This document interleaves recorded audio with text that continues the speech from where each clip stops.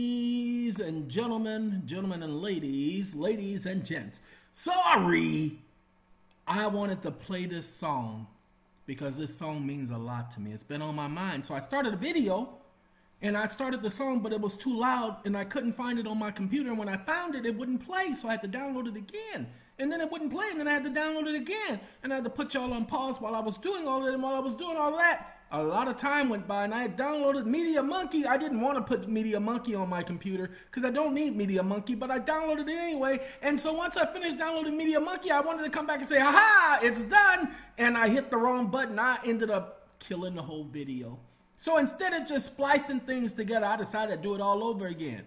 You're wondering what I'm explaining all that for? Because I got a lot to talk to you all about. I'm supposed to be taking my behind in there and going to sleep because I was tired. But let me let y'all hear the dramatics. They're gonna get kind of dramatic on us, so I know many of y'all don't know who the, the dramatics are. Okay? I know cause y'all ain't y'all ain't from the time. I got it. But let me tell you something. Love this song. All right. Now, enough said. If you didn't know who they were, they sang this song called In the Rain. Mm-hmm. And not Orange Juice Jones in the rain, but Keith Sweat in the rain. You know what I'm saying? Okay? It's you that I need. Okay? Love that song too. Okay, not the Spinners Love Don't Love Nobody. That's my other song. Okay, so there's a list of all my songs right there, but we're not talking about that tonight. We're talking about mortgages, ladies and gentlemen. I want all of you to take a look at this video. If you have not seen this video, this video has been out since 2013 at least.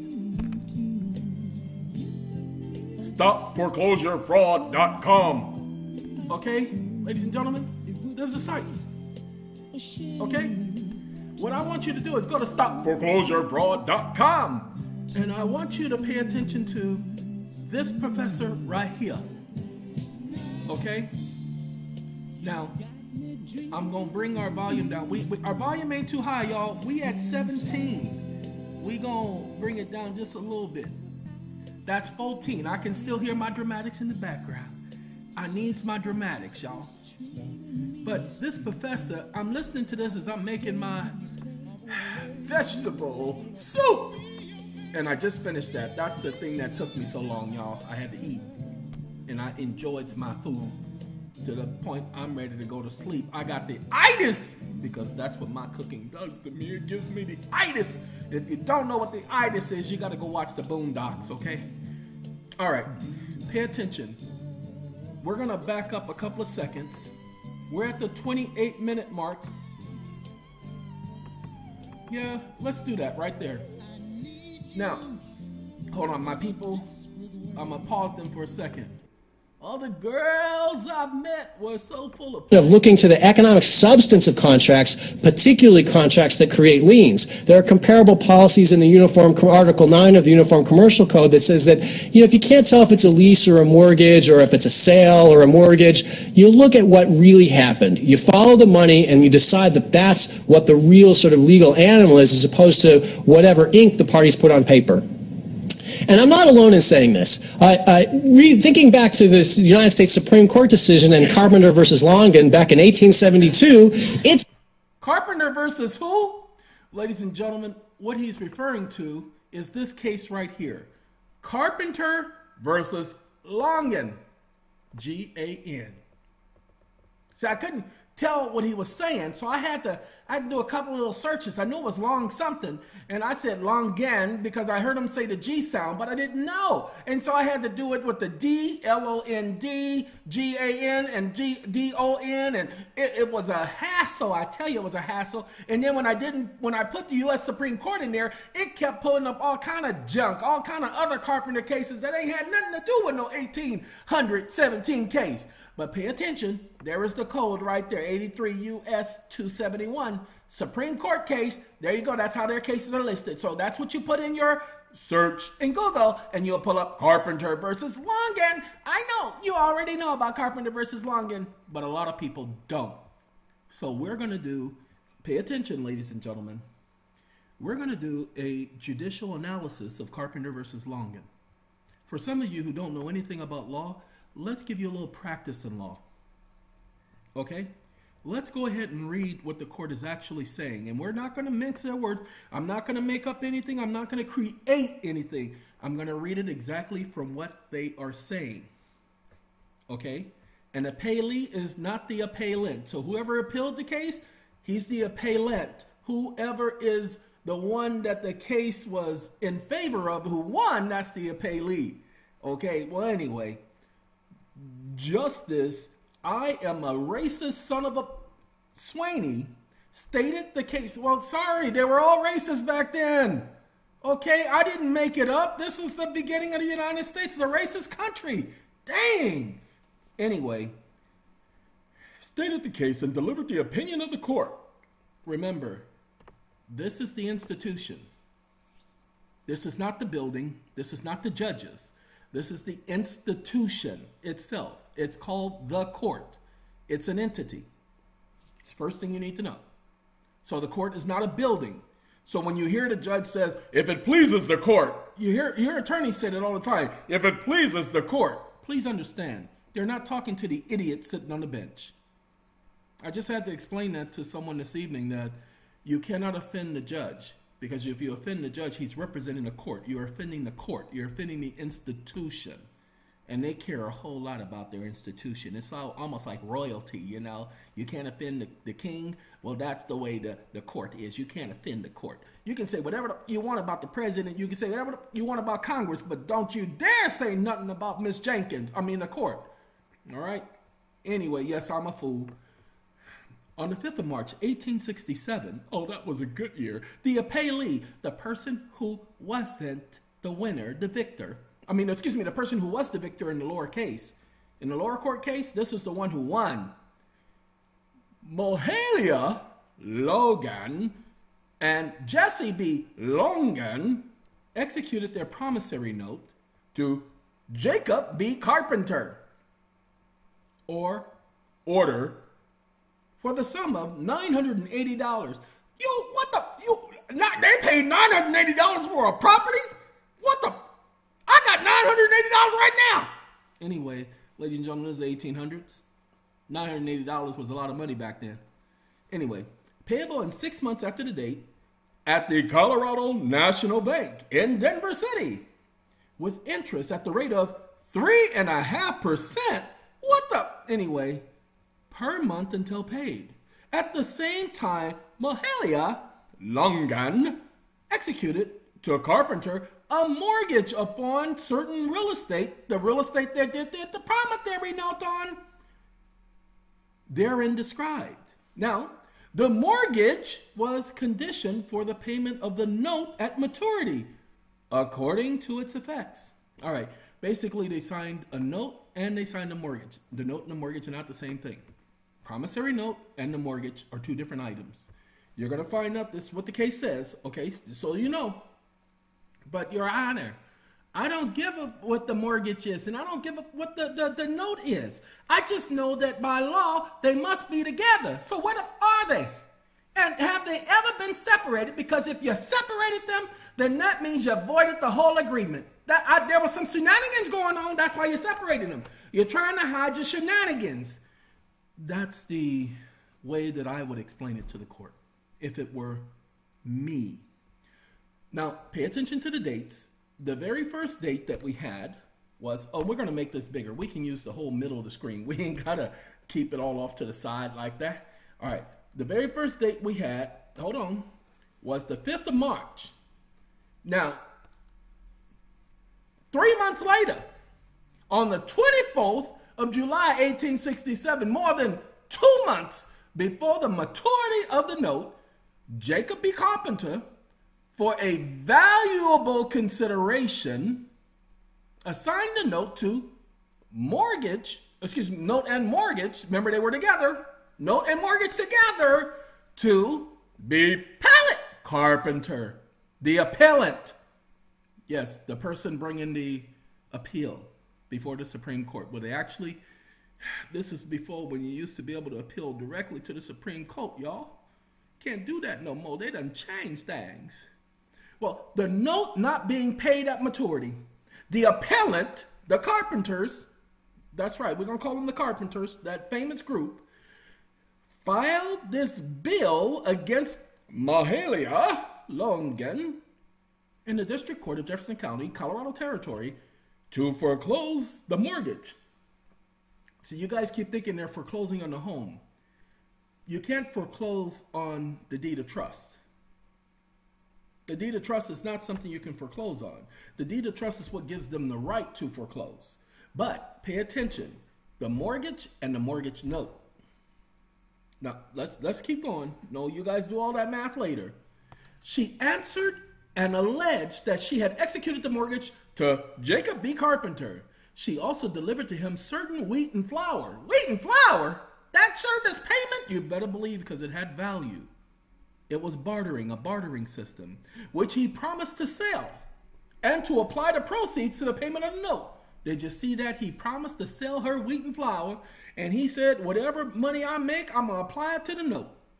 Okay? She gave that to him as payment now. That at the maturity of the note, she had tendered, pay attention, people. Your mortgage note has value.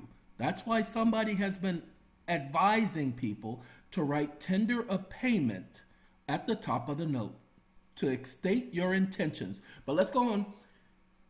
That at the maturity of the note, she had tendered the amount due upon it and had demanded the return of the note and the mortgage and the wheat and the flour. Uh, and of the wheat and the flour, all charged to Jacob B. Carpenter. Had well, she charged that he had converted the wheat and the flour for his own use. And that when the appellant, Mr. Carpenter, took the assignment of the note and the mortgage, he had full knowledge of the fact touching the delivery of the wheat and the flour to his assigner. That's right. Basically, what they're saying is once she paid the previous mortgage assignee, that the new mortgage assignee had been paid. That's right. She said if the original bank got paid, the current bank got paid.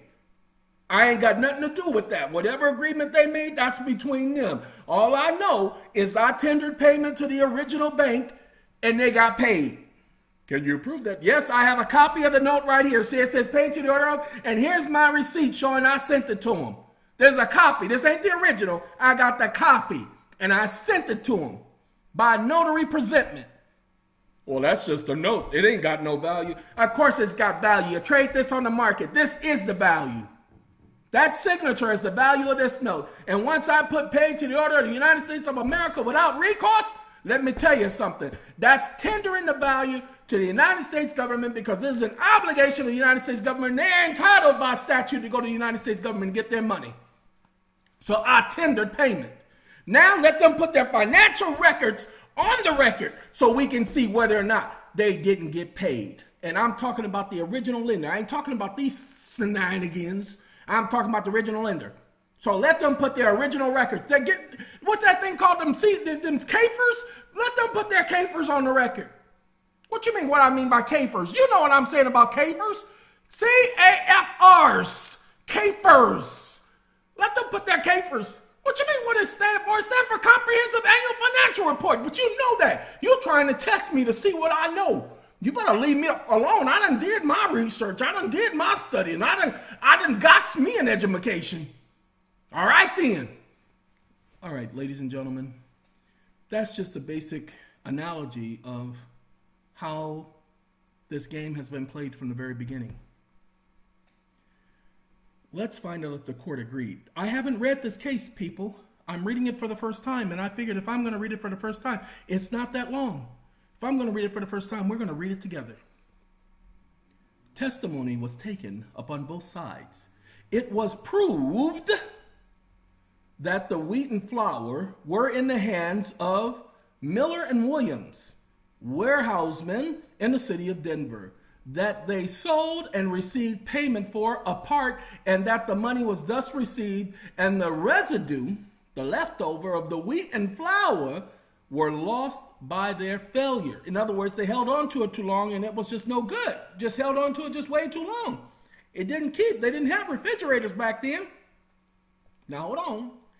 The only question made in this case upon whom this loss should fall. It falls upon the appellant. Why? Because he received the wheat and flour in exchange. So whether or not he sold it, that was on him because there was no decision between the two. And if you don't sell this, then you don't owe, I don't owe you anything. I mean, you don't owe me nothing, but I owe you something.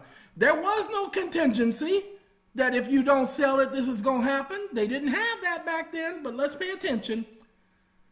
Upon whom this law should fall, whether upon the appellant or the appellee, the carpenters or the Longans. In this particular case, the view which we have taken of the case renders it unnecessary to advert more fully to the facts relating to the subject. You see, it says there's no reason for us to go over all the details. We're just going to explain it.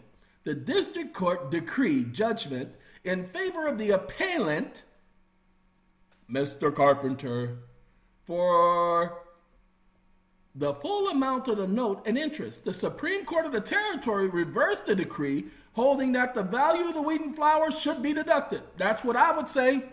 The complainant thereupon removed the case to this court by appeal. See, back then you used to be able to go straight to the, uh, after you left the Supreme Court of the state, you can go straight to the Supreme Court of the United States on appeal. Well, anyway, it is proved and not controverted that the note and the mortgage were assigned to the appellant for the value of both consideration before the maturity of the note. Now he says, notice of anything touching the wheat and the flour is not brought home to him. In other words, it had nothing to do with the wheat and flour, the original note.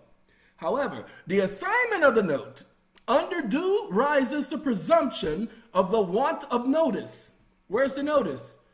And this presumption stands until it is overcome by sufficient proof. Well, the proof was them bringing in the evidence in the district court showing that the other guys received it and they didn't get all their money for it and they lost some of it. But let's go on. I don't know what the case is going to say. I'm just telling you, I can see by the wording, I already know what they are thinking as they say it.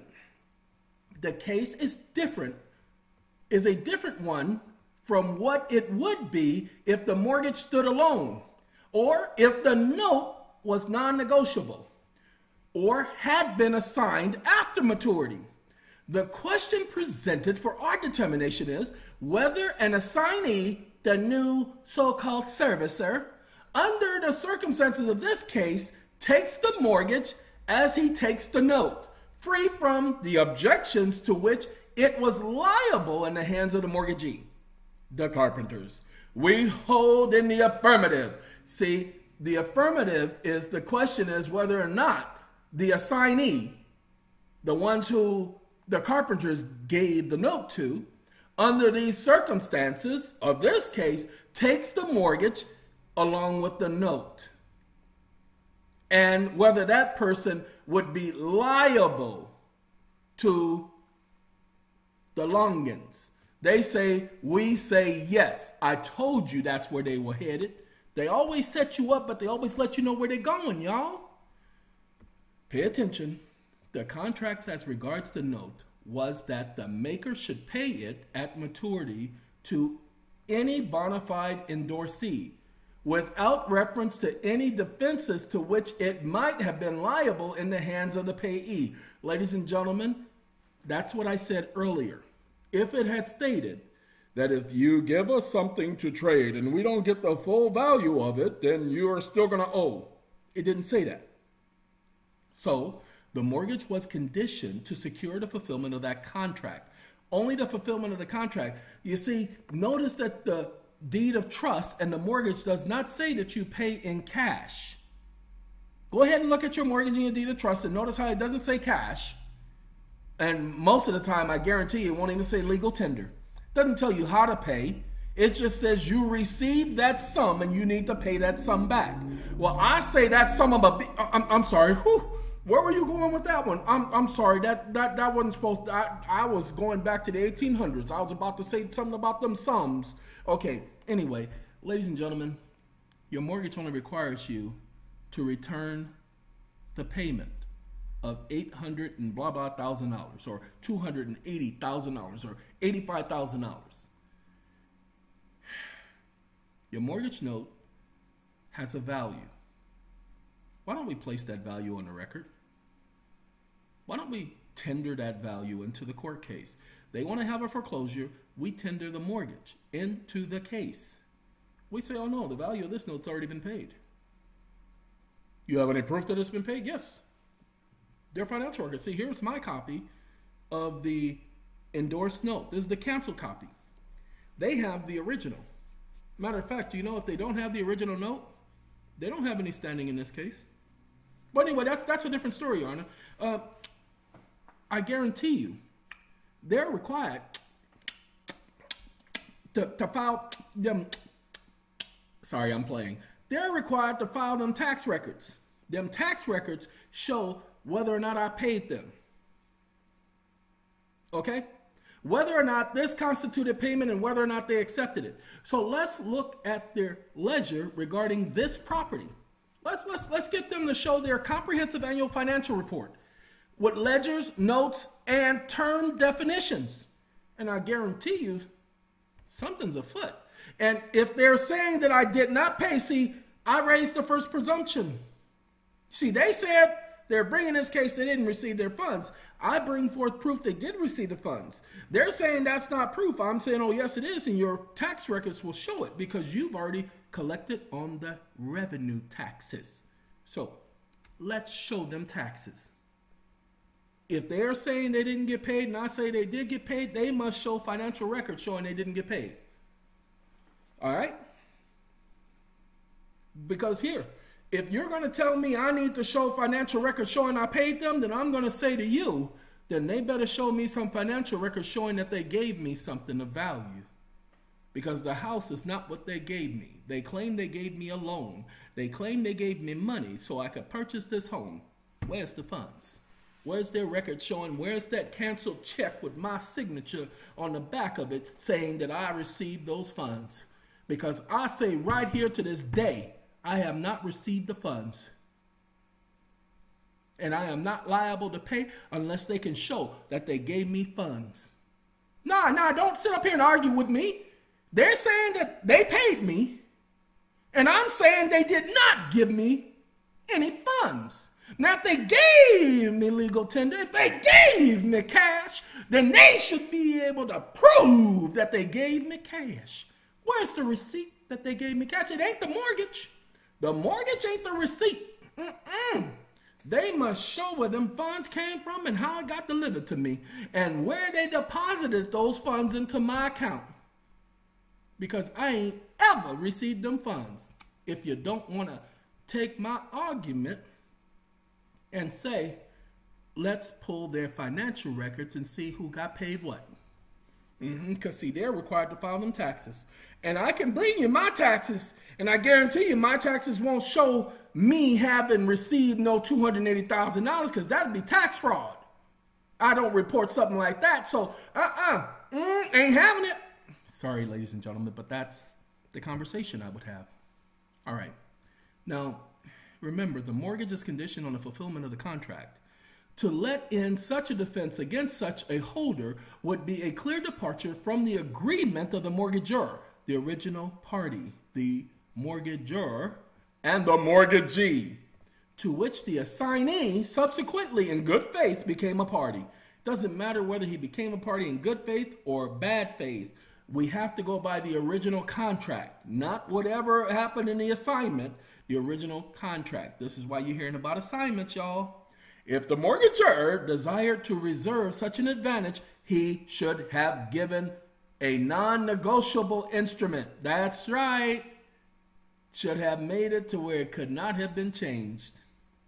That way we couldn't sell wheat and then make that as payment. And that's why they say you cannot transfer the note to anyone, sell the note to anyone. That makes it non negotiable. You know what I'm saying? If one or two of the innocent persons must suffer by a deceit, it is more consonant to reason that he who puts trust and confidence in the deceiver should be a loser rather than a stranger. Ladies and gentlemen, I think that is stupid. but they quoted something, y'all. I want y'all to do yourselves a favor. Let's go ahead and take this quote. Come on now, stop playing with me, Google. See that? You see, you see what's going on, y'all? See, this is Google. This how Google play. Y'all don't want to play with Google because Google will do y'all wrong. All right, let's do this. I use Google because all the other services are weak. They uh, don't compare. Okay? Justice Miller of the Supreme Court. Pay attention. Committed in the course of employment, Lord Holt had used these words. Foreseeing that somebody must be the loser of this deceit, it is more reason that he that employs and puts a trust and confidence in the deceiver should be a loser than the stranger, distinguishing this principle in a municipal bond case. Do you understand? They have been quoting this for over a hundred years. They just start quoting things.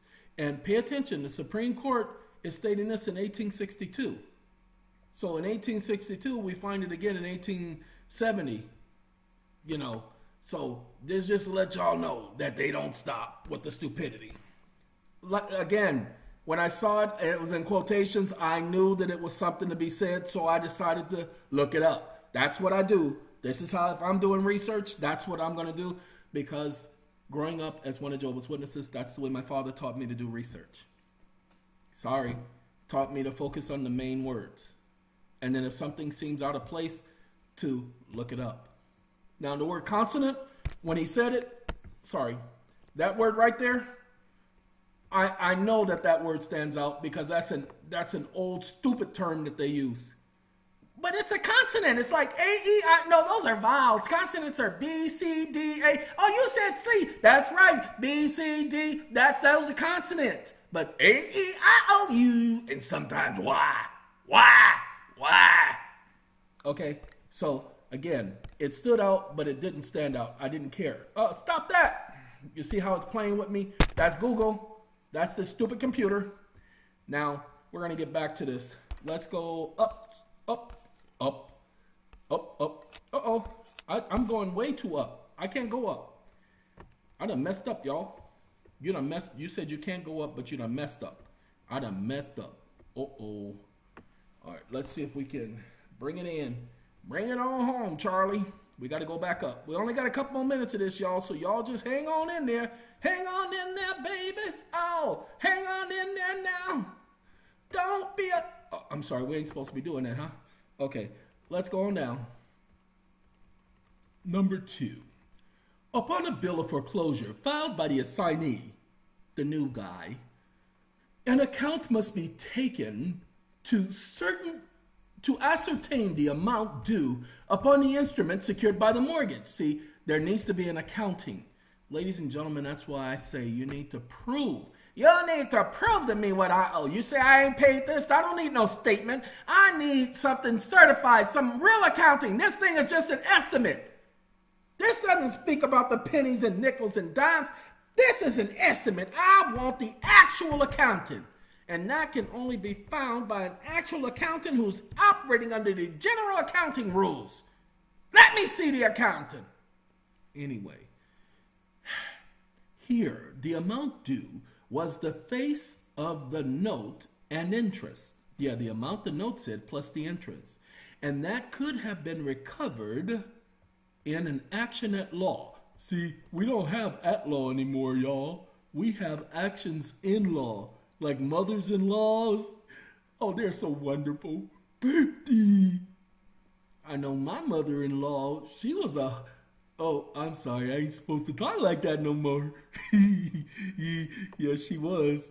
Anyway, sorry, ladies and gentlemen. Sometimes he comes out. I try to keep him in, but he just keeps, like, uh, every once in a while, they all speak out like, disease, what can it be? Get it? With it? disease. Don't laugh, cause I can't control it. I tried my best to hold it and hold it, but you see, they got the best of me. Ba ba boo boo, mercy, wee wee. I need you leave me alone. I'll be free. Called out the ice, so sorry. I'm sorry. I'm doing split personality while I try to get this thing to go back up. I don't want to go that far up. Keep going. because that's where I want to get to, y'all. I want to get to that equity stuff. Okay, come on now. And it's this touchscreen. That's the thing that makes it bad. Okay, equity. It's all equity, people. This is the 1800s. It's always been equity. Could not find that less was due. It is a case in which equity must follow the law. Do you understand? Equity must bring equity. A decree that the amount due shall be paid within a specified time or that the mortgaged promise shall be sold follows necessarily. Ladies and gentlemen, this is what they're operating off of. You didn't pay, your property must be sold. Here's the problem your property has mortgage insurance. It has mortgage insurance for a reason. That is not just to protect the lender, but it's also to protect you from being deprived of your property. Remember, the mortgage was not for the property, the mortgage was for a loan. They don't get to take the property and the value at the same time. If they've already been paid, they don't get the property. That's what the insurance is there. If they don't want to collect the insurance, then you get the court to decree that you have the right to the insurance because you paid the premiums. You're going to have to create the argument for that. Powell cited Supreme Court Supra says, but if the debt were a negotiable security as a bill of exchange collaterally secured by a mortgage and the mortgagee after payment a part of it by the mortgagor actually negotiated the note for the value pay attention got to look at that word and the endorsee or assignee would, it seemed, in all event be entitled to have his money from the mortgagor on liquidating the account, although he had paid it before. Because the endorser or assignee has a legal right to the note and a legal remedy at law. And that's all we want is our legal remedy at law, people. I promise you, you do a Google search on legal remedy at law, and you're going to find some information, some mighty fine information anyway, which a court of equity ought not take from him, but to allow him to benefit of on the account. Ladies and gentlemen, this phrase right here, pay attention. I would hold on to this, which a court of equity ought not take from me, but ought to allow me to benefit of challenging this unjust action and demanding that they prove that there is money owed. That's what I would take from that sentence because it is a principle that's being stated there. Okay, let's go on. Oh, come on now, children. Let's go on up. I did it again. I touched the screen, y'all. He just keeps touching the screen. Stop touching the screen. Stop touching. You're still touching it. I'm trying to get rid of the blues, y'all. Y'all know the blues. Okay, now watch the mouse. See the mousey over here? Let's scroll that way. Come on, come on, come on, hurry up. No, don't hurry up because you go too fast and you're going to miss the whole boat. Ah, finally. A different doctrine. Remember, he was stating a doctrine. I told you. How did I know that that was a statement I wanted to take?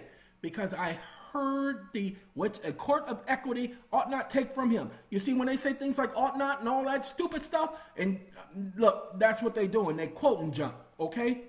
They they quoting junk. So let's scroll down. Come on, go slow. Uh, uh, go slow. All right. I just need to go up just a little bit, not too much. Come on. Uh oh, it won't let me. Okay. Dag nabbit, I went too I went too far. I want to read the whole case, and I don't want to be playing around with this stupid computer. Gotta go up, y'all. All right. Come on. All right. We're going to stop here. A different doctrine would involve strange anomalies. The assignee might file his bill and the court dismiss it. He could then sue at law. See, suits at law not suits in law, talk about the mother in laws, and recover judgment, and sell the mortgage promise under execution. That's foreclosure, y'all. It's not pretended that equity would interpose against him. And that's a statement that I would use in my document. That equity cannot interpose against me. Because the, pay attention, the aid of equity were properly invoked to give effect to the lien of the judgment upon the same premises for the full amount, it could not be refused.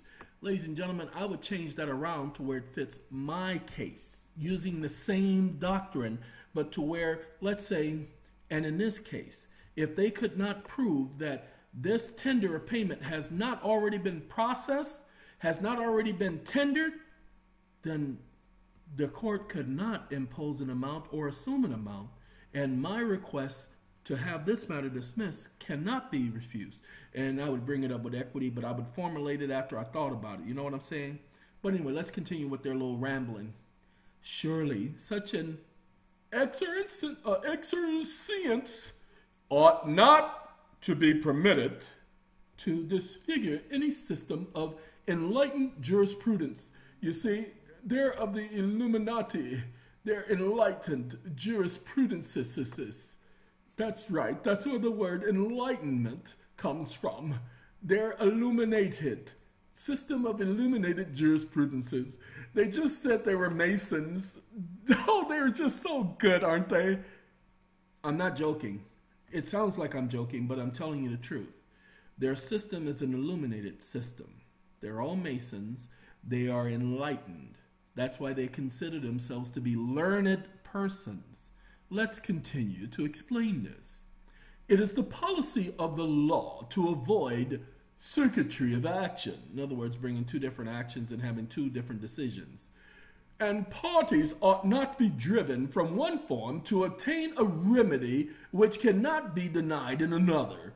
In other words, like I just said, going to two different jurisdictions thinking that you're going to get two different answers. In other words, you didn't like the decision the court made over here, so you go to another court. There's a an attorney in California who's been doing this to a person. It is illegal. There is no, you can't court shop. You can't jurisdiction shop. It's not possible. But you did it when you filed the case in New York. No. I filed the case in New York because New York is part of the jurisdiction for which the cases take place, and that's where all the banks are located, and that's also where more favorable decisions have been made. I could have filed it in Florida, which is pretty much the same thing, but I chose New York because I didn't want to be in a hot, sticky environment with sheriffs that call black people black boys and black males and how they run from scenes talking about he fled when nobody fled nothing but you know, sorry, I didn't want to be there. Anyway, the mortgage premises are pledged as securities for the debt. In proportion as a remedy is denied, the contract is violated. Uh oh. They say if you don't give them the house, they violate the contract by not doing that. And the rights of the assignee are set at naught. In other words, they don't have any rights. In other words, the mortgage ceases to be the security for a part of or whole of the debt. It express provisions to the contrary notwithstanding. In other words, he's saying that's what the mortgage is there for. But, oh well, can't do that, he's saying. Can't do that. Got to do that right there. That's necessary. Now we're to go back this way. Got to make it Gotta make it. There we go. All right. Now, it's the nullity that I need to get. There's my mouse. Couldn't see my mouse, y'all. Where's my mouse? I don't know. Where the mouse at? Gotta make it screen bigger. Yeah, let's a little bit more. Just a little bit more, little bit more, little bit more, little bit more. All right. The note. This is the quote you hear everybody quoting from. Ladies and gentlemen, I haven't read this before. I just know this is the quote that everybody be quoting from. The note and the mortgage are inseparable. Inseparable. That's how it is. Incredible. for the rest of my years. It's so wonderful to know you'll always be around. Thank you, thank you, thank you. Anyway, the moat, the moat, the note and the mortgage. See, note mortgage, moat, M O T N O T. The moat, the note and the mortgage are inseparable. I promise you, you'll always remember this. After watching this junk and me hang on those words that way and me highlighted in all blue. The note and the mortgage are inseparable. Say that to yourself 80,000 times. Then understand if MERS is servicing your note, then your mortgage and your note has been separated. Okay, the note and the mortgage are inseparable. The former is essential. Whoa, the mortgage and the note are inseparable. Inseparable is essential. That's this is the former, the note and the mortgage. Note and the mortgage together being inseparable. It's essential. The latter is an incident. You need a note, you need the mortgage in order to get payment. They have to go together. An assignment of the note carries the mortgage with it, while an assignment of the latter alone is a nullity. Did you hear what he said? An assignment of the mortgage is a nullity. The note has to be assigned, not the mortgage. Pay attention what he says. An assignment of the note carries the mortgage with it, while the assignment of the mortgage alone is the nullity, because this is the latter. This was said second. This is the former. It was said first, just like it said the former, the latter. Hey, hey, get down off that ladder. That's dangerous. Okay, the latter would be the mortgage because this was said first. So it was formerly said before that one. See, the former, I'm the farmer of the ville. That's not the type of farmer he's talking about, boy. Boy, who you call him? Anyway, the note is the farmer, the mortgage is the latter. Okay? All right. Give me one second, like a fire department, the latter. Okay. It must be admitted that there is considerable discrepancy in the authorities upon the question under consideration. Well, there are some discrepancies. Well, let's go ahead and kill them discrepancies because them discrepancies just sit up here and just mess everything on up. Uh-uh, we can't have no discrepancies. We got to have some uh, discrepancies. Anyway, and Bailey versus Smith, etc. All that means all the other characters that were added into Smith, because you know they got them Joneses and them Westons and man, I can't stand them Smiths and Wessons. When them two get together, all Hades breaks loose. Well, anyway, a case marked by great ability and fullness of research, the Supreme Court of Ohio came to the conclusion, different from that which we have arrived. The judgment was put chiefly upon the grounds that the note negotiable and made so by statute, while there is no such statutory provision as to mortgages, and that hence the assignee takes the latter. What's the latter? The mortgage, as he would any other cause in action, subject to all the equities which subsisted against it while in the hands of the original holder. To this view of the subject, there are several answers. Really? You just said the Supreme Court of Ohio disagreed with y'all. Ooh, doggy. Well, let's find out what they say next. The transfer of the note carries with it the security without any formal assignment or delivery, or even mention of the latter. Security. If no assignable, excuse me, if not assignable at law, it is certainly so in equity. Hmm. Interesting. So there's an assignment in equity, but there's not an assignment in law if it's not written in statute, is what they are saying. You following everyone? All right. Now, when the amount due on the note is ascertained in the foreclosure proceedings, Equity recognizes it as conclusive and decrees accordingly. Now, you see, pay attention. When the amount due in the note is ascertained in foreclosure proceedings, what's the amount due in the note? Is it what they say or is it what they prove? Remember, it has to be ascertained, so it must be determined. It becomes conclusive. If you owe, you owe. So your job is to prove I don't owe. Pull their tax records, people. Their tax record shows that they've been paid. P A I D D D D D D D E D. They've been paid. Okay? Let's continue. Whether the title of the assignee is legal or equitable is immaterial. See, there eh, we don't care who it's been assigned to. The result follows irrespective of that question. The process is only a mode of enforcing a lien. Pay attention, ladies and gentlemen. That's why you bring up the issue of they've been paid. Let them argue as to whether or not they've been paid. All of the authorities agree that the debt is the principal thing and the mortgage is an accessory. That's right. Whether or not you owe is the issue. Equity puts the principal and the accessory upon a footing of equality.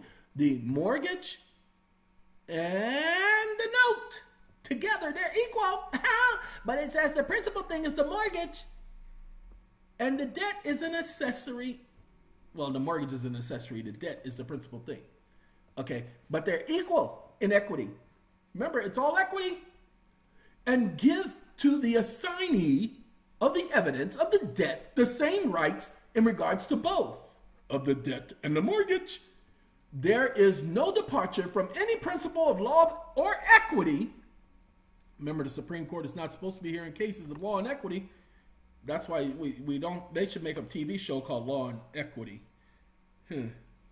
My bad.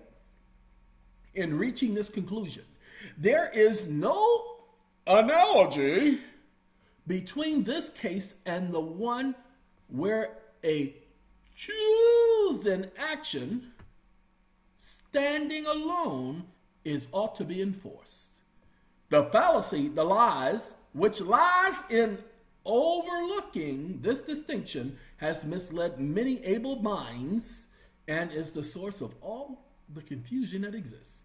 Basically, he says the issue is the debt. The debt, the debt, the debt. If you owe, you owe, you owe. Why? Because this idiot was a slave owner and all the other idiots were slave owners. So all they were interested in is debts being paid back to them because they were rich. So they were usually the ones on, they were usually the creditors and they could make a stupid decision like this. That's why they could say the fallacy lies with overlooking the distinction, this distinction as there is no difference between the mortgage and the debt, but the debt is more important than the mortgage. But in equity, they're both on equal footing, and the debt takes precedent. Just they only care about the debt, y'all. You owe a debt, you got to pay a debt. That's all they're interested in. That's why you lose the home because they come in and say you owe a debt, and you don't disprove it. Well, ladies and gentlemen, start disproving you owe a debt.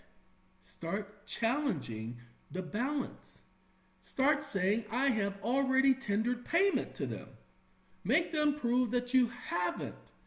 Yeah, wait, hold on a minute. That's not even certified. That There's no uh, accountant signature on there. There is nobody uh, under oath. Where? How can they produce such a document and you guys accept that into the record? You can't put that into the record. No, I object to any and every piece of paper these people have been trying to push into this case. No, unless it has the full faith and credit of the United States or it is sworn to under oath, under penalty. Uh-uh, I object, I object, I object. You guys got to stop sitting up here letting them put just anything into the record. The first thing you do when you file your counterclaim or your counter command or your counter this or your counter that is you object to any of the things. You object to any of the stuff that they're saying. You say, uh-uh, I'm sorry, I need bona fide proof. And I don't need words. I, I, I can write a letter. My grandmama can write a letter saying I owe something, but that don't make it true. I need you to show me proof. Now, I don't mean you to make it sound like that, but that's what I'm trying to tell you because that's what most of you guys are allowing to happen. Okay, let's continue, okay? The mortgage can have no separate existence. It needs to be with the note when the note is paid, the mortgage expires. Wait a minute. You mean to tell me if we pull their financial record and we take this statement from the Supreme Court of the United States and we say, I have the right to see their financial records because, as the Supreme Court of the United States has stated, when the note has been paid, the mortgage expires. And I say before the court that the note has been paid. I have tendered payment. That's what I would be writing. That's what I would be saying. I'd be bringing cases back in and I'd be saying their financial records prove the note was paid. And if the mortgage, the note has been paid, the mortgage has expired. It cannot survive for a moment the debt which the note represents. Do you understand? These are the statements I would take because they are statements. They're not just words, they are statements of fact. This dependent and incidental relationship is the controlling consideration and takes the case out of the rule applied to choosing or chooses an action. I don't like this word right here because we know that this is definitely some broken English we don't use anymore. Uh, technically, I read so many cases that when I was 17, 18 years old, I was using chooses. And you see, we don't use this word anymore. We use chose. We don't use the person chooses, or we use the person chose to do this. And so that's because I was reading so much of the old junk that, yes, yes, 17, 18 years old, that's what I was doing, all right? Anyway, I told you law was the thing that I was into because I, I read scripture and, you know, Leviticus, book of laws, Deuteronomy, second law. That's what Deuteronomy means. So I was into all that, reading all that, and trying to understand that because that was that was that stuff was confusing. So I had to understand it. So just like their junk is confusing, you read this the first time, you wouldn't have got it. But this is my first time reading this case, and this is what I'm pulling from it while I read it. Where no such relation of dependence exists, accessorum non ducta sequata principal. Basically, this is, I don't know, I do know that this is pretty much, I would like to say, associated with accessory or associated or non association. And let's see, with the principle. Let's go. Okay, I want to look up this this this right here. I want to do a translation. I need to see what it says because I can only tell you what I can get from it, gather from it, just a little bit of it. But I can't tell you what it actually is until we pull it up. It means the accessory does not draw but follows its principle. An accessory thing does not lead but follow the principle. Okay? So, Supreme Court used this language, and this is from uslegal.com, a dictionary. All right? And the other dictionaries, what is accessory? Oh, see, I'm not the only one. I am not the only one who focused on that phrase. So, uh-huh. all right. Look, I told you we are going to break the case down. We're almost finished. Take a look. Right here. You see, ain't that much more. The court says a mortgage is pro tecto to purchase. And a bona fide mortgagee, that means the person who actually purchased a mortgage, is equally entitled to the protections of a bona fide guarantee, the note. Okay, and the promises of the mortgage. So, the assignee of a mortgage is on the same footing as a bona fide mortgagee. Basically, what they're saying is if you assign a note to someone or the mortgage to someone, then they have the same rights as the original mortgagee. In all cases, the reliance of the purchaser is upon the record. And when that discloses an impeachable title, he receives the protection of laws against unknown and latent defects. Ladies and gentlemen, that's why you have to challenge whether or not they've gotten paid because you are being sued based upon lack of payment because they're claiming that there is a debt due. Matthew versus Wallen is usually more relied upon by those who maintain the infirmity of the assigned title, assignee's title. In that case, the mortgage was given to secure payment of a non-negotiable bond. The mortgagee assigned the bond and the mortgage fidelity and or fraudulently, excuse me, fidelity. Fraudulently, don't know where I got fidelity from, and thereafter received large sums which should have been credited upon the debt. Ladies and gentlemen, pay attention. This is what they do to you all the time. They claim you owe, and then they keep charging your account. When they sell the home, they claim that they bought for hundreds of billions of dollars less than what you paid for it. Then they only credit your account a little bit. When they receive the monies from the insurance company, they don't credit your account no bit. When they receive the credit by charging the debt off, they don't credit your account a little bit. Again, the Supreme Court says that it is fraudulent and illegal. And because it is fraudulent, according to the Supreme Court in Matthews versus Wallen, then it's enough for you to go to get that vacated. I would charge that they have received a charge off. I would charge that they have been paid. I would charge that they have collected from the government and that adjustment should be tied in to the amount owed, which means the amount that they're claiming is less than what they're claiming. So you see how much we pull from just looking up one case? The assignee sought to enforce the mortgage for the full amount specified in the bond. Pay attention, this is exactly what I've been talking about. The Lord Chancellor was at first troubled by the consideration that the mortgage deed purported to convey the legal title and seemed inclined to think that might take the case out of the rule of liability, which would be applied to the bond if standing alone. He finally came to a different conclusion. Now, basically, they want to stick with the rule of liability. If you owe, you need to pay. Okay, rule of liability. Just look up that phrase. Okay? Just look up the phrase. Well, let's do it. That's what we're doing, ain't y'all? I'm spending all this time doing this stupid video. Uh, it's not stupid. Some of y'all really need to know this stuff, and you really need to understand. Okay, now y'all see what I did, right? I just took the phrase because it stood out. An entitlement protected by a liability rule, however, involves a collective decision as to the value of the entitlement without the need uh, for a voluntary transaction and in what circumstances should a property, liability, or an inalienability rule be used to protect the entitlement? So basically, if you owe the money, you need to pay. That's why many of you lose because they come in there saying you owe a debt and you go in there saying, well, I didn't pay and I didn't do this. And, and the judge has no other choice because they must follow the rule.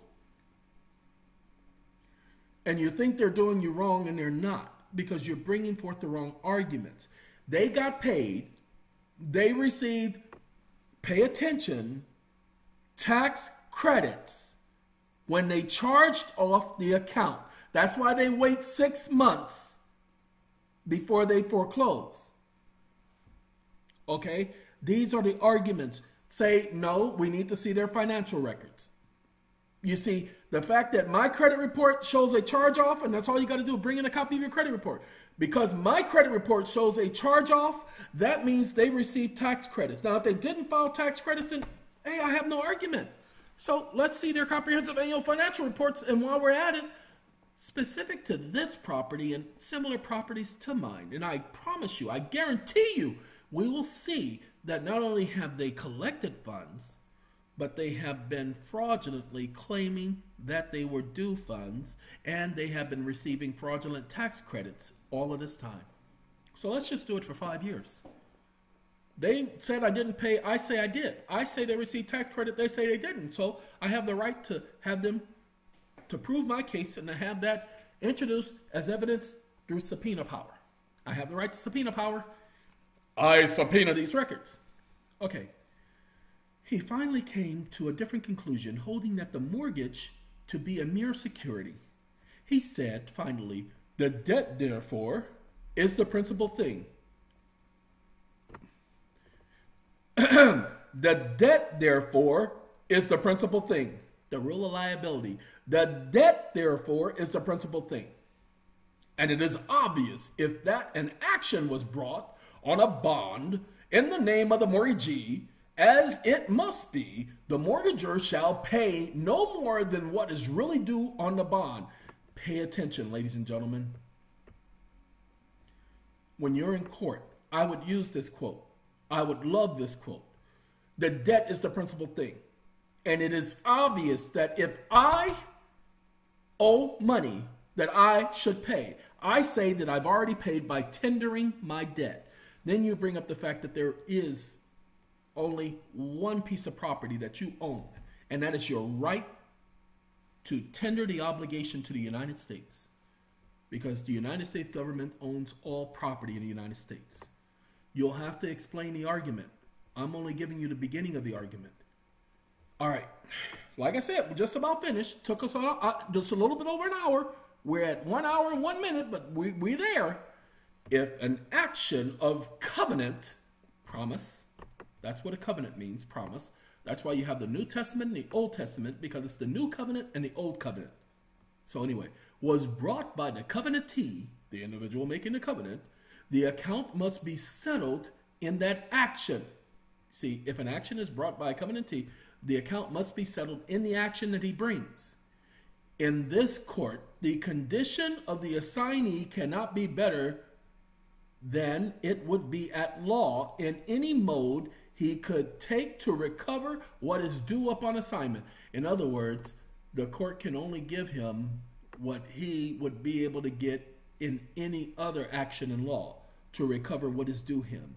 The creditor has all of the rights, but you have rights too. You have been challenging the wrong thing, everyone. You must challenge the debt. You must challenge the amount owed. Quit saying, I don't owe nothing. Say, excuse me, I've already paid. I've already tendered payment for that debt. I've tendered payment in full. Well, do you have proof that you tendered payment? Yeah, it's got a copy of this, and it's a copy it doesn't have the original signature. This is a copy. Here, here's the receipt showing I sent it to them, but this is the original note paid to the order of. That's my endorsing of the note. That's my tendering payment to them. It's a government obligation, and per the law, they must receive their payment for that government obligation through the United States Treasury. Well, this is not a. Excuse me. Are you saying definitively that that's not a government obligation? Then you've just defied several different laws in the United States, including the Emergency Banking Relief Act and the Federal Emergency Relief Act of 1933. I'm not asking you for your opinion, Your Honor. Oh, Lord knows I don't need your opinion. What I'm asking you for is are you saying that the United States Congress and their intentions with the federal banking holiday of March 9, 1933 is no longer valid? That there has somehow been a decree in Congress saying that the Banking Relief Act, which Congress has said to this day still remains in existence, no longer exists? Because if you're saying that, then you're defying everything. Because you have to go by statute. You have to go by what the law says. Now, the law says this is tender of payment, paid to the order of.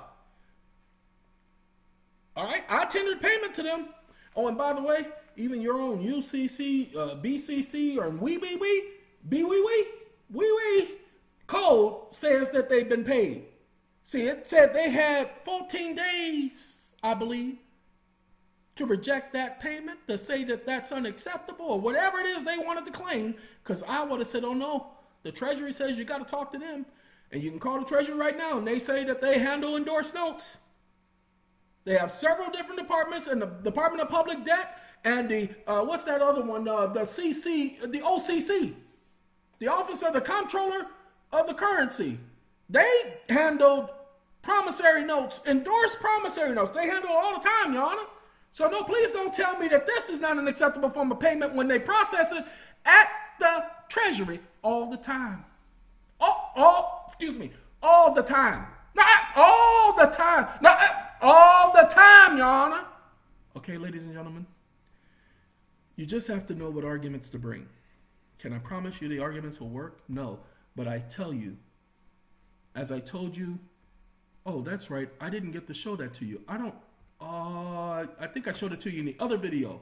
No, not this one. That's Be My Girl. That's Be My Girl 2. That's Be My Girl 3. But this is the one. Okay, this is the spook that sat by the door. If you don't gain anything from this movie, you're gonna gain the one thing is that you use West Chicago Bank. their own Bank authorities estimate against them. I promise you, when you watch that movie, it ain't the greatest movie of all times, ladies and gentlemen. It ain't the greatest movie of all times, but I promise you, you'll get the principle. Oh, there it is. The principle is distinctly recognized that the measure of liability upon the instrument secured is the measure of the liability chargeable upon the security. Yeah, see, the instrument, the note, and the security, the mortgage, go together. They, that's what they're saying. The condition of the assignee cannot be better in law than it is in equity. In other words, whatever the conditions of the mortgage note has to be supported by the law. Okay, that's just it. And the law supports the debtor is always at fault and he's got to pay. Anyway, so neither can be worse. Upon this ground, we place our judgment. Do you see that? The Supreme Court rests their judgment on this understanding, and that's what you must do. We think it, the doctrine we have laid down, is sustained by reason, principle, and the greater weight of authority. Excuse me? Did they just set a new foundational principle at law? A new doctrine of law? That's why it hasn't been overturned yet, ladies and gentlemen. And I say yet, not until enough of you bring it up. Okay? Decree reversed the, the court the lower court's decision. The case is remanded for direction to enter a decree in conformity with this opinion. Now, if you do the research, we're going to go all the way back up. You're going to find that this case is still relevant. This case is still precedent. Again, want you to know, I heard people say it all the time. I didn't know where you're getting it from. This is the one I want. This professor right here. This professor. want y'all to pay attention. This professor said that the note and the mortgage are inseparable. The did you hear him? The note and the mortgage are inseparable. I heard people saying that for years. Winston Shrout and a bunch of these other fools. Uh, excuse me, Winston. I ain't calling you no fool. You know, Winston. I, Winston. I have more respect for you than you could possibly know. Okay, Winston is one of the guys who was around that was putting out information that I was getting information from other people who were around Winston. So Winston is one of the what do you call those legends? You know what I'm saying? Him, Jean Keating, those were the individuals who were around delivering information, and it getting their information was hard to come by because I lived in the hood, and so the information, you know, their crowd and our crowd wasn't the same crowd. Sorry. So getting information wasn't that easy, but I was able to get it. But anyway, again, because individuals have been saying this for years, I now know where they got it from. Okay? My job, my job as a person is to understand things. That's why I like science. Breaking things down, understanding things from its inception, from its foundation. And ladies and gentlemen, as we just did, we took an entire case. It took an hour to go over a two page case, but it was necessary for you to get the understanding of what was being said. And we talk about creating emotion. Ladies and gentlemen, first, I'm going to let you know that if you go to, well, I'm not going to just tell you to go there, we're going to go there because a lot of you don't know how to write a motion. So I put in SATCOM 911. I'm not going to put in PDF. I'm just going to put in .com because that's where we want to go. Okay. Now, I put in SATCOM 911. It's going to take us to Google search first. It's not going to take us directly to SATCOM 911. And that's okay. I want to check something because I put in SATCOM911.com and that's 15,000 results. That's just an, I want to do one more. I'm just gonna do SATCOM because I remember a little bit over a year ago. I don't mind 33,000 results. Okay, I don't mind 33,000 because when we first started, it was only 300. So we did all right. And this is the SATCOM, the original, standing for Satellite Communications by the wonderful United States Air Force. But anyway, this is the original SATCOM. You see how we outdid this one just by adding the M? I didn't put 911, I just put SATCOM. And we are on top of the original homeboys. I am so grateful. Finally, it has happened to me right in front of your face, and you just cannot hide it. I'm sorry. Anyway, ladies and gentlemen, SATCOM, you're going to go to downloads. Now, I know, I know, I know you've been here, but you haven't been here because as we did another video, we just put up 300 more documents yesterday. When we put up those 300 more documents, we put them, these are all legal documents. Got to wait for it to catch up. See this right here? This is files. Now, the first thing you want to do, the, the first thing, not the second nor the third, hold on. We can go down to, I think it's just going to be under M. Can't tell you because I, I haven't been here in a while. Huh. I haven't been here in a while. So, let's see. We got law. So, we got law. And we got, well, that's bankruptcy stuff. A lot of people have been asking, and this is court form templates. See that right there? Okay, but here, 600 legal forms. There are only 309 items. This is what we put up the other day. But if you want to write a motion, ladies and gentlemen, I'm going to suggest you start with here. Look to see if there's a template for your motion here that you need to write to the court. This is what we've done for you. I cannot help you with your cases. There's only one of me. And right now, I promise you, I'm only helping one person with five different homes. Okay? So I can't help the rest of you. Sorry. That person means more to me than the rest of you, and you're just going to have to take a back seat. Sorry, equity says that you can't get help from me. Equity says, you. I'm sorry. Um, sorry, got I had to clear my throat.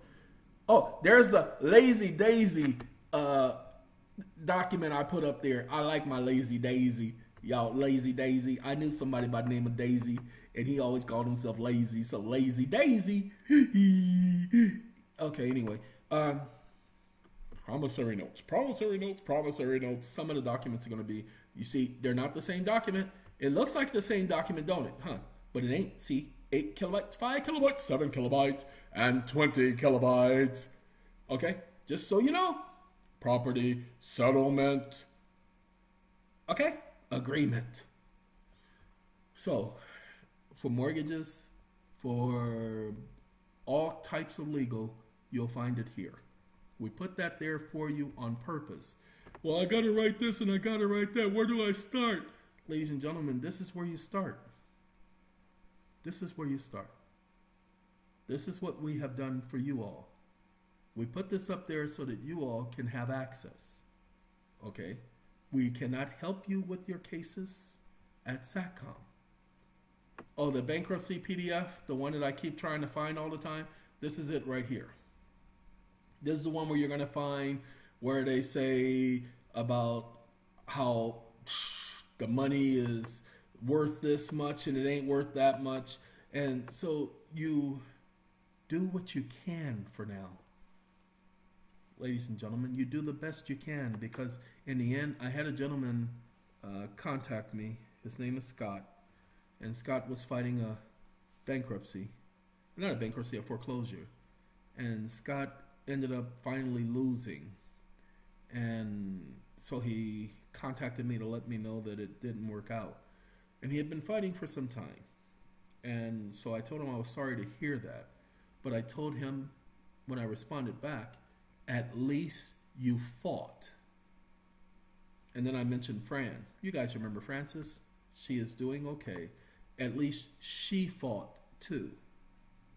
Frances didn't lay down. She fought. when they took her home, she kept fighting. She did not give up.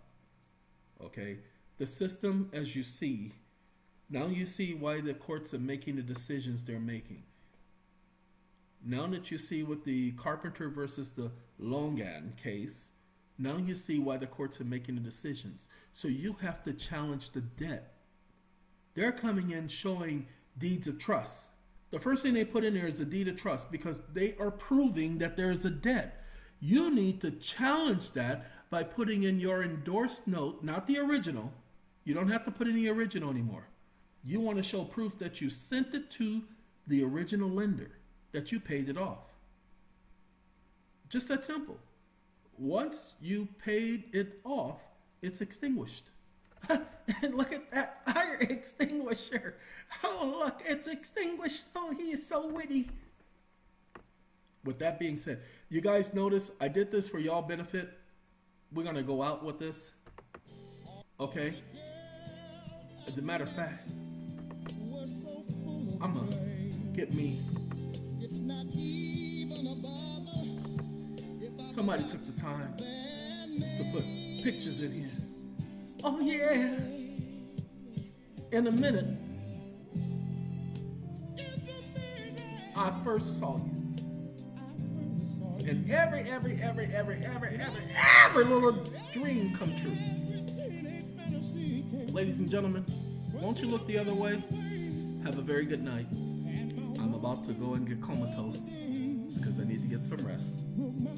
And those of you who don't understand, this wonderful disease, muscular dystrophy, it's been having an effect, especially with the weather changing, on my ability to breathe. As a matter of fact, I tried to go to the store the other day. You're right. And so I'm having some difficulties being out in public. The doctors have already told me eventually you're going to be on oxygen. My problem is not oxygen. My breathing is just fine. The problem is the lung muscles get too weak. So when I go outside, the air is kind of thick. No, I'm not in Los Angeles. If I was in Los Angeles, oh God, it'll be horrific. Even right now, my chest is hurting. Oh, that could be the flu. Oh, it could be pneumonia. Stop it.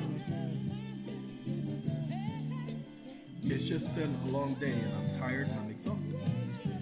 And the last four days, I've been feeling very bad. I even missed a meeting with SATCOM on Thursday, which I, I was there at the beginning of the meeting, so I can officially say I didn't miss it. And that I can officially say I haven't missed the meeting yet, but the fact is, I missed the meeting because of the health. So I'm doing okay. My health is fine. I am eating good, and I am drinking good. A lot of cognac. Anyway, I just mentioned that because many of you are asking me to exhaust myself even more to help you. And I made a promise to myself that I won't let you do that to me.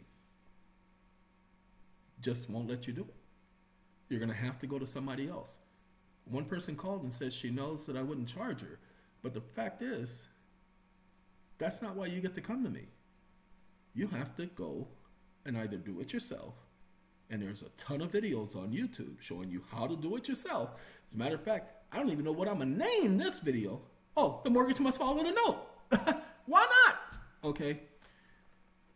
If you don't take anything else from this video, my hope is that you'll take that. Take that and get on out of here.